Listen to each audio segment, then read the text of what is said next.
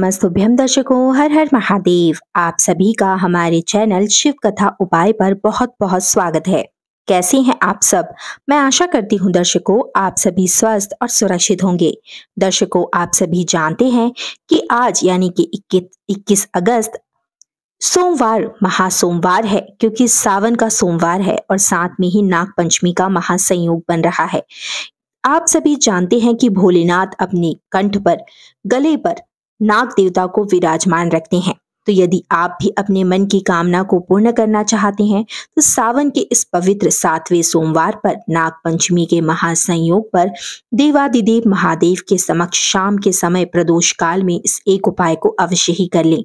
महादेव आपकी झोली को खुशियों से भर देंगे और आपके जीवन की समस्त कामनाओं को तुरंत ही पूर्ण कर देंगे।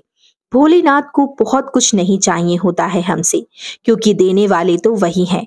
भोलेनाथ को प्रसन्न करने के लिए मात्र आपको 108 चावल के दाने, यानी जिन्हें हम अक्षत से भी जानते हैं, वही 108 चावल के दाने आपको ले लेने हैं। साथ में एक दीपक ले लेना है।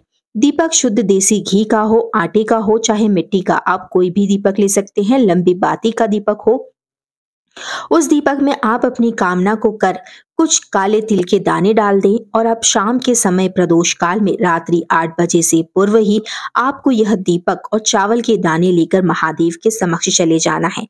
महादेव के समक्ष दीपक को प्रज्वलित करें।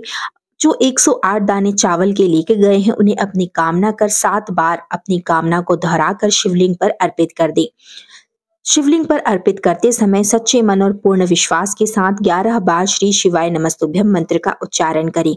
आपकी कामना महादेव सावन के समापन से पूर्व ही पूर्ण कर देंगे। एक बार इस उपाय को अवश्य करें।